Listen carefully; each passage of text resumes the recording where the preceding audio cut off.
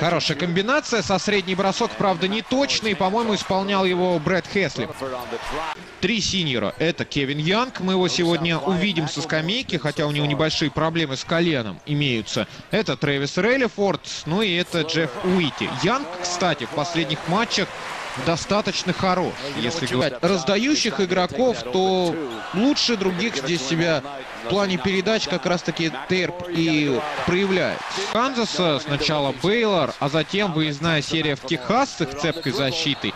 И Канзас Стейт 16 If he's starting upward, the ball doesn't have to be over his head. That's close right there, you know. и при этом за бородой. Уолтон, здорово мяч. Налин Филдхаус в Лоуренсе, штат Канзас, вновь приветствует вас, уважаемые любители баскетбола. Возвращаемся мы сюда на Батар. В 97 году здесь же играла команда 13 января, ну то есть вот этот же примерно временной период, опять же в процессе подготовки нашел и эту выловил. Маклемор сам пойдет, видимо, меньше 10 секунд на атаку. Нет, Реллифорд умеет, но сейчас кольцо мяч не приняло. Однако Маклемор, Хоума, нет поражений внутри конференции и 11 побед и 3 поражения.